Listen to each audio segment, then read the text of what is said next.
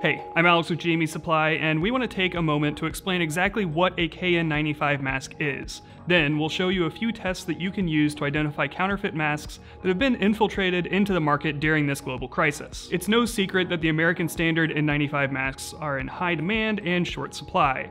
This shortage has opened the door for manufacturers to capitalize by churning out cheaply made replicas that look real but differ in permeability, flammability, and liquid resistance. If you're unsure what the American standard N95 means, check out our quick explainer video right there. The CDC has advised the use of products meeting seven performance standards from around the world that provide effective respiratory protection one of those being the Chinese KN95 standard. These masks, like the NIOSH N95 masks, provide protection from 95% of particles that are greater than 0.3 microns in diameter. For some context, a human hair is about 70 microns across, a red blood cell is 8 microns across, Bacteria and viruses can range between 0.2 microns and 3 microns in size. They achieve this filtration through a multi-layer polypropylene melt-blown non-woven construction that effectively filters out dust, fine particles, pollen, and other airborne particles. They're lightweight, disposable, and the elastic ear loops and metal nose bridge provide a secure fit while still allowing low breathing resistance. But let's jump into what tests you can do to determine if a mask meets the KN95 standard, like these, which at the making of this video are available to ship in packs of 10 or boxes of 20. In test 1, we'll look at the mask's flammability. If the mask is KN95 rated, the material will melt but not ignite when in contact with a flame.